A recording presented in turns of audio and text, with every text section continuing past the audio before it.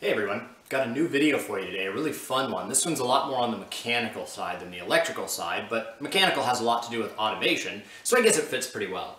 Uh, what I've got today is a, a, transmission. It's a transmission out of a lawnmower, an old lawnmower that I've had laying around in the barn for a long time. We've probably all got something like this laying around in the barn or the shop. Uh, and I cut the bottom of it open just to see what it looked like inside. What are the gears actually doing? I I've known for a long time transmissions have gears. You shift a transmission, there's gears inside, and it, it's called a transmission, so it transmits the power from the engine to something else. Now this particular one, as is the case in most lawnmowers, they're pretty simple in operation. It's not nearly as complex as you'd find in your normal uh, normal vehicle, uh, but it's really cool because it actually allows us to see inside and, and, understand it a little bit better. If you cracked open a real transmission, it would probably get complicated, really complicated, really fast. So this is kind of a mix between a transmission which shifts the gears forward, reverse, first gear, second gear, third gear, uh, and then on some vehicles, mostly rear-wheel drive vehicles, that'll go through a drive shaft all the way to the back wheels to a differential, which then turns it from going in a straight line to the back of the vehicle and separates it off to the two back wheels. This is a transmission in the sense of it shifts gears, uh, but it's also a differential kind of all in one. Now before I take it apart, I'm going to take it apart so we can see all the stuff inside and then show what it looks like, but this is kind of the general sense of it, and the bottom of it, I, like I said, has been uh, milled off so that we can see inside of it. Now normally a transmission is never going to have a cutaway view because it's going to be filled with either some kind of grease, like a really thick axle grease uh, for a manual transmission, or it's going to be filled with automatic transmission fluid. So really, really bad if it gets any sort of hole in it. But for our, our sake of being able to, to see what's going on inside of it, of course we want it to be cut open, so that's half the fun of it. So here's a little bit of a view of what that looks like when it's completely assembled. So uh, let me go ahead and disassemble it and let's check out what those gears look like inside. So we're going to take this thing apart one little bit at a time. First of all, this is the bottom of the transmission. Now if we flip it over, the top of the transmission is ha has this piece sticking out. This is a splined shaft and that's attached to a pulley that comes directly from the output of the engine. So this transmission does not have gears in the sense of shifting from first gear, second gear, third gear. It's simply driven straight off of the engine and to go faster, we just make the engine RPM go up or slower go down. It does have a forward and reverse. So let's go ahead and take this. Again, this is the bottom of the transmission. And this part has been milled off on my dad's milling machine. We went over to his house a couple of days ago and set this up and milled this off. Really fun project. Um, but let me take this off very carefully and we'll see what this looks like inside. Now there's three main pieces here. This first one, starting from the top going to the bottom, this first part is a sliding mechanism that's attached to the steering column by two steel cables and that shifts it from forward to reverse. That's really the only shifting that this transmission is able to do. Again, since there's no first, second, third gears, only forward and reverse. Now there's a middle position, and we can see this little disc here, uh, and we'll take this apart in a second so you can see what the disc looks like.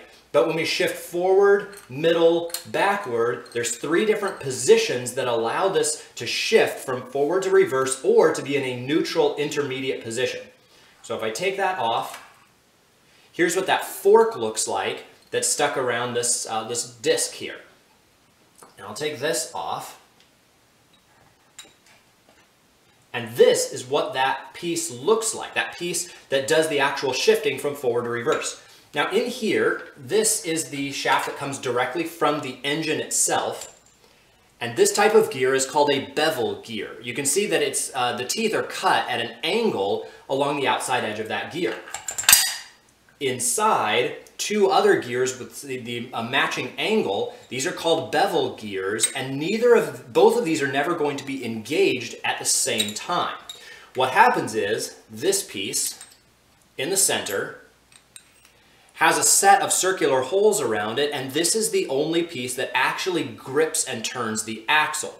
Neither of these two gears themselves, either this gear or this gear, we can see that those are rounded in the center. They don't actually turn the shaft. They freely spin, both of them. It's only the disc in the center, this piece, that actually grabs onto the axle and turns it.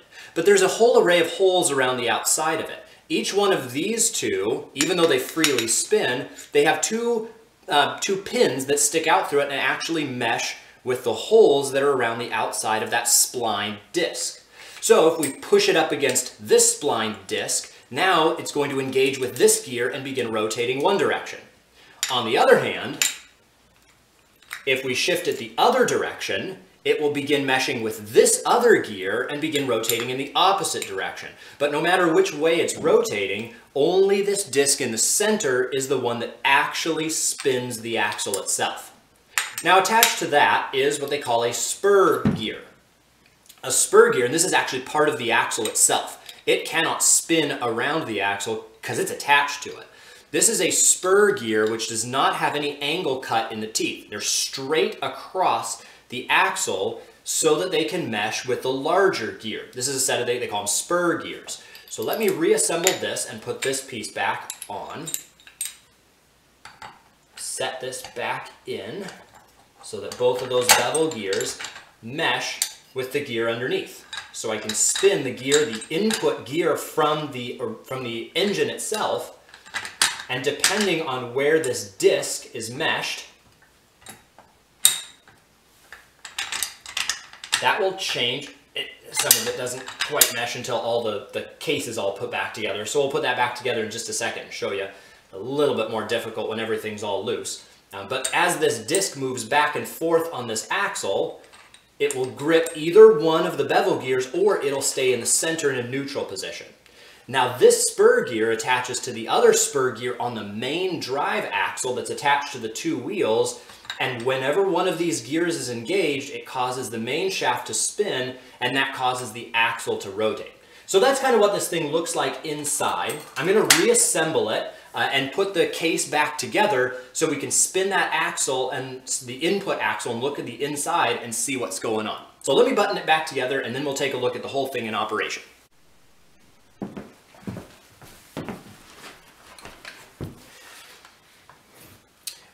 So now we're all reassembled and we can see the gears that are shown through the top of the transmission. So let's take a look at what happens when we start spinning the original input axle that comes from the engine and see what happens with the gears inside while we begin shifting it. So as the engine spins, it spins a pulley which is attached to the axle on the back that you saw earlier, and it causes the piece inside to that bevel gear to cause the two bevel gears on the side to rotate. Now as the shift lever up here is moved into the three positions, forward, reverse, and neutral, we can see that in one position, it causes the motor to spin, causing that spur gear to rotate in a particular direction. Now, if we shift it back the other direction, as soon as the motor engages, that spur gear shifts in the opposite direction. I'll continue spinning it while I shift it into neutral. And you can see that in neutral, you don't get any spin direction at all. In fact, it's quite easy to rotate that spur gear. As soon as it engages, however, it becomes a whole lot more difficult. I, I still can rotate it, but it's a whole lot harder, especially if that engine is still attached to it. Right now, the engine isn't even attached. So as hard as it is now, it would get a whole lot harder if that engine was attached. So if you ever want to push your lawnmower, make sure that it's in neutral and it's really easy to spin. So in one gear, we get to shift and then shifting into neutral and then reverse. Now here's something interesting. Right now I have it pulled all the way as if you're on the shift column, pulling it, trying to engage it in one direction, but it's not fully engaged yet. I have to give it a little bit of a spin until finally it locks into gear. And that's why sometimes when you shift, you have that it seems to kind of lurch forward a little bit before it finally grabs and locks into place. That's because those pins might not be aligned with that little disc that has those holes around it. It may not be perfectly aligned right when you shift it. But it, all it takes is just a little bit of motion and then finally it'll engage and it'll allow it to rotate. Now you might ask, why is it making so much noise? Transmissions shouldn't make that much noise. Well, you're right, they shouldn't make that much noise because normally it's filled with this really thick axle grease and some of it's still on my hands. I can still smell the solvent. Um, when I was over at Dad's shop, he's got the milling machine, the solvent tank, so big shout out to his help for all of the projects that I'm constantly working on. Uh, but we were able to get it somewhat cleaned up, but normally this is so full of grease that it quiets the noise, dissipates some of the heat, and overall makes it last a whole lot longer. Make sure that if you want to do proper maintenance on a transmission, you put the right kind of grease in and that you make sure that it's always got the right amount of grease in it. I hope you found this video really interesting. I sure thought it was interesting. I always love tearing apart something electrical, but mechanical stuff is really cool too. Uh, engines, transmissions, all those kind of systems are just fascinating to look at. If you've got any questions or any suggestions of other things that you want me to tear apart and look at, let me know and I'll uh, see what I can do. Uh, but as always, go build something awesome. Have a great day.